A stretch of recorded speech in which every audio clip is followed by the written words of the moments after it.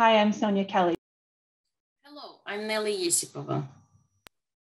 Nelly, together we've been doing work on uh, Ukrainian women refugees and looking at their journeys. And one thing we're tracking is how much cash they're carrying outside of the formal financial system and the risks that they face as a result.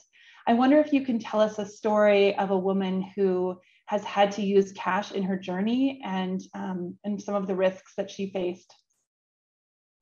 I want to tell you a story about Nadya, 65 years old nurse practitioner from Mariupol. She was living in Mariupol together with her mother, 90 years old woman who died at the beginning of the war. And Nadya, for a while, was hiding in a shelter in Mariupol until the moment when she was able to escape to Moldova.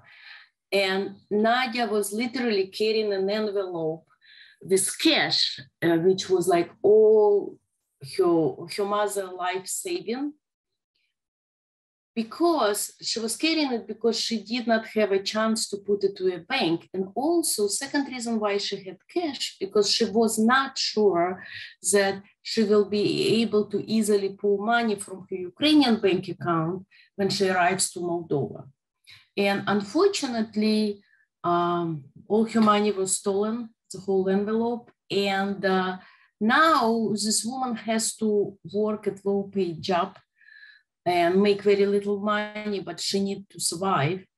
So um, she told us that from now on, she has enough cash only to buy bread and to color her hair.